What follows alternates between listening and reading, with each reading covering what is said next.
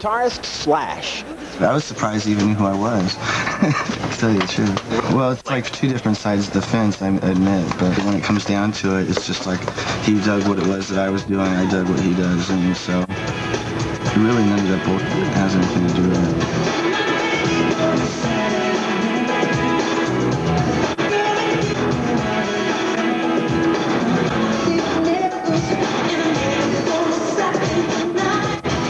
The tape of the song, it wasn't one of the songs I played on, so I was a little bit reluctant to go up and sync to it. So he let me play live on it, which meant I could add my own, whatever it is that I do to it, you know.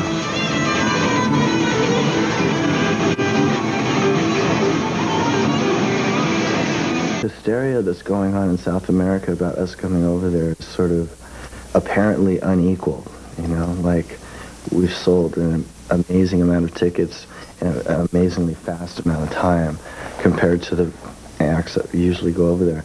So we're just going to South America. I don't know if we're going to call back, call back, you know, and say, you know, this is where we're at. I mean, because we're that's a whole different country altogether, and you just want to just go and focus on playing there. So um, we'll see how things develop. I don't I don't know if if anybody in the states is going to hear from us for a while. Yeah. I mean, we. I, I think everybody's probably sick of us at this point. Anyway, you know. So yeah, glad to let us go away for a while. so. plan. The boys finally released those two new albums they've been talking about for the past several years, and in July they were at the center of a good old-fashioned rock and roll riot here at the Riverport Amphitheater in St. Louis. Right now, for those who may have missed the band's various antics and accomplishments, here's a recap.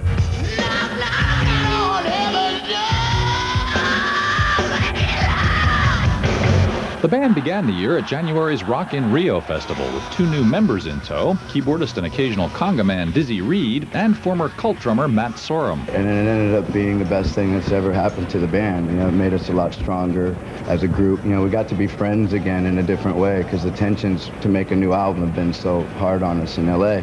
You know, we're getting it done, but, you know, we really ended up needing this. It was kind of therapeutic. Then came promises of a tour, for which the Guns warmed up with a blitz of one-night mini-dates that ripped through San Francisco, Los Angeles, and New York City. The band's New York date also doubled as a video shoot for the Terminator 2 track You Could Be Mine, which eventually arrived on MTV, tagged with an appearance by the Terminator himself. We Filmed the show in the Ritz, and then, you know, I guess Arnold was flying back from Cannes or something. I want to be in the video. Finally, on Memorial Day weekend, Guns N' Roses launched their first ever headlining tour. I get up around seven, get out of bed around nine. Ever since we started, we've been aiming at, you know, being, we wanted our, our second major album, we wanted a headlining tour, you know, and to do it right. And it feels great. In a lousy season for concert tours, the Guns N' Roses show, with Skid Row opening up, prospered. And of course, there was never a dull moment. Every show, it seemed, featured an Axl Rose rant or two. And in St. Louis, after he jumped into the crowd to protect a fan or grab a camera or something, an actual riot ensued, resulting in 15 arrests, 80 injuries, a purported $200,000 worth of property damage, and the band's most heartfelt thanks in the notes to its next album. In the great tradition of Jerry Lee Lewis, the Rolling Stones, and Led Zeppelin, trouble was Guns N' Roses' constant companion. They were fined by local officials in New York and Indiana and sued by their former drummer, Steven Adler, who charged that they'd encouraged his incapacitating heroin addiction. The band roared on, bringing its world-beating sound to Europe in August, and at every stop along the way, insisting that its long-delayed brace of Use Your Illusion albums would be coming out real, real soon. I just want to get it as soon as possible. It's thought-provoking, violent, and negative. Finally, on September 17th, one and a half million fans across the country lined up at record stores to actually buy Use Your Illusion 1 and or 2. So what really took so long? Success, you know, made it take a long time. That that sudden realization of like being huge, and then there was the associated drug problems that that you know ensued. With a new, strictly sales-driven ranking system recently instituted, Guns N' Roses became the first band to debut at number one and two on the Billboard chart.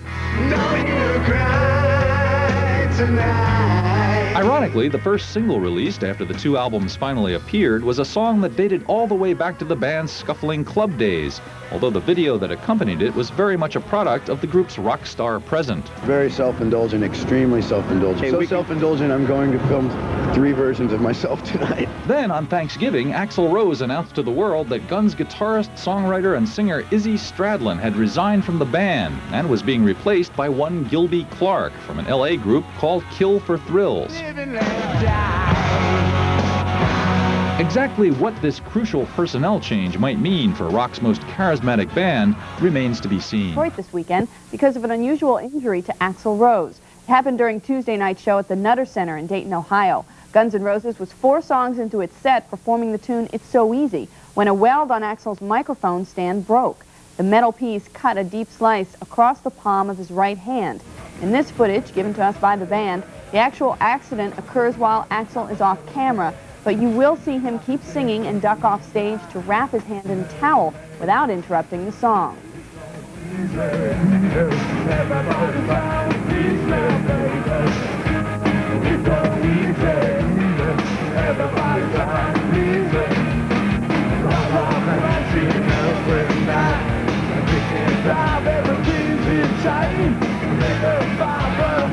fire, babe. It's all goes out.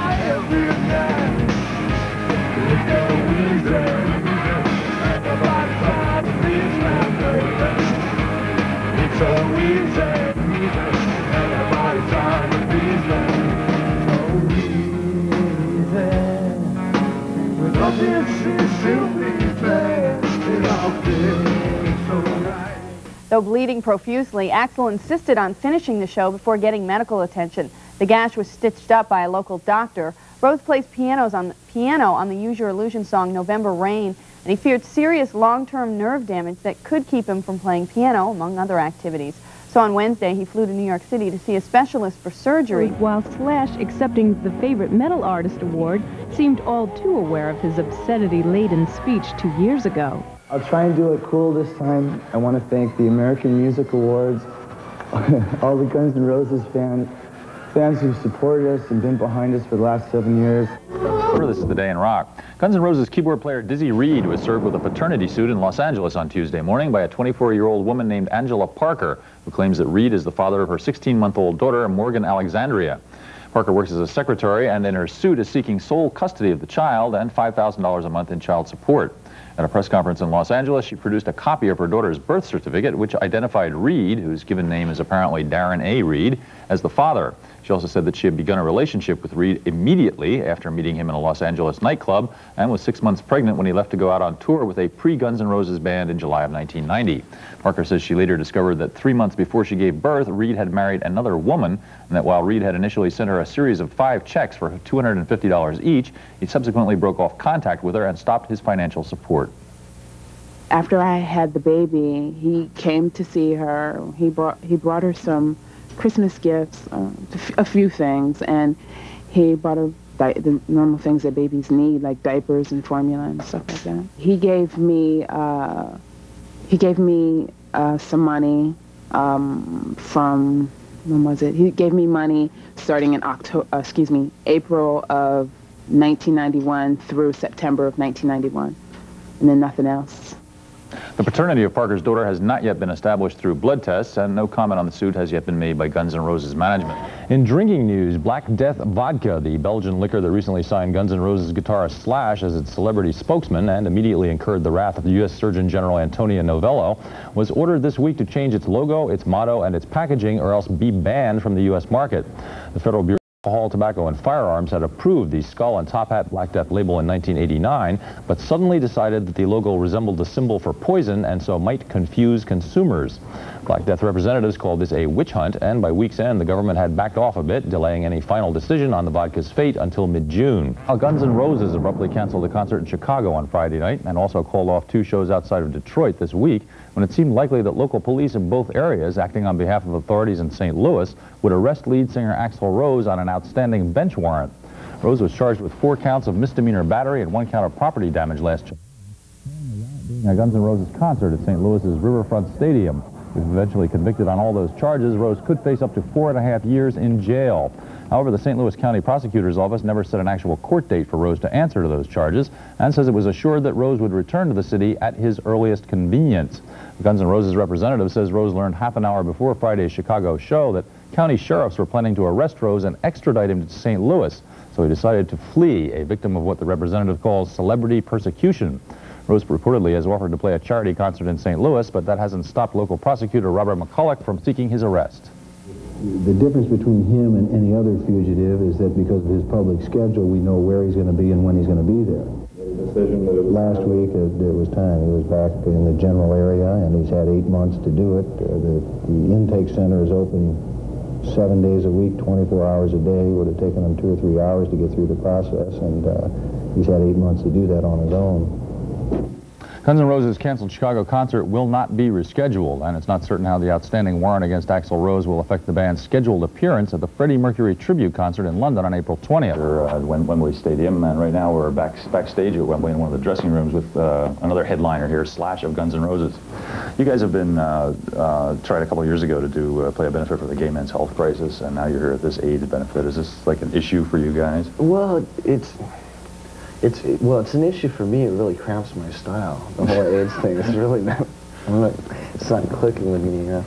But um, uh, we, you know, things come up and we're like, well, yeah, we'd like to get involved and try and do something to help it out. But then it turns around on us, right? And they got like all these gay activist groups and jumped on our our case. Yeah. For being involved with this to the point where there was a question as to whether or not it was even safe for us to do this gig. And finally we just said, screw it, let's just do it, you know. Yeah. And, you know, whatever. I hope, you know, we don't get shot or anything. Or like threats but it's, your you know, life or it's like, I don't know what, what they're so uptight about. Yeah. You know, they were saying they were going to do whatever they could to sabotage the sh- our part of the show. And they, they had totally attacked the whole Queen organization for allowing us on the bill and all this stuff. And I'm like, it, it's never ending. You know, it's always something. It's like ridiculous. This is all hangover from one in a million, I suppose, right? Yeah, you know, I mean, you know, I don't know. You were, I gather you were probably a Queen fan, no? Oh yeah, I mean, I, I, it was one of the bands that I was definitely weaned on. Yeah. And I at, at rehearsal um, for this thing the other day, uh, it was great. I mean, I was like a little kid. We got up, got up and played uh, "Tie Your Mother Down" with with Brian May. You know, and we're standing. I'm like standing next to. Well, it's weird when you're coming up. You don't see yourself ever doing that kind of stuff. And you get hooked up like the Stones, and then it's the so and so, and you're like, wow, you know. You start recording with all these people that you knew about when you were a little kid, and they just seem so distant.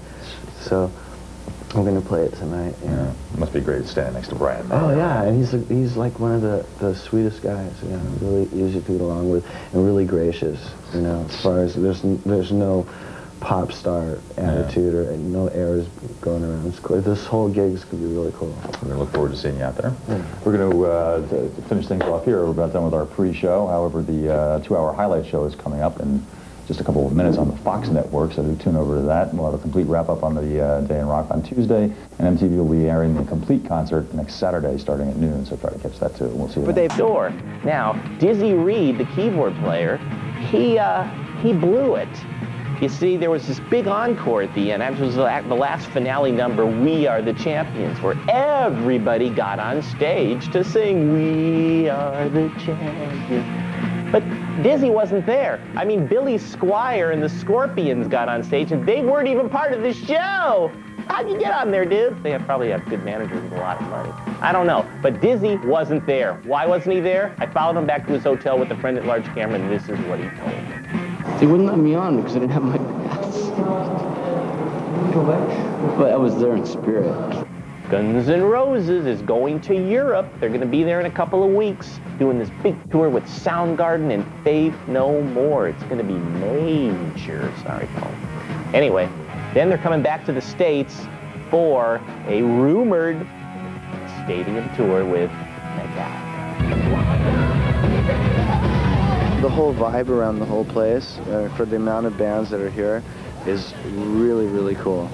Everybody's sort of like let down the whole I don't know, uh, the celebrity status kind of attitude and just been really cool. Longtime AIDS activist Elizabeth Taylor. Well, you know what was funny was I didn't know, even know she was here. I go into the green room, right? I take my clothes off and stuff, and I turn around and there she is, all sparkles and stuff. I'm like, hi. You know?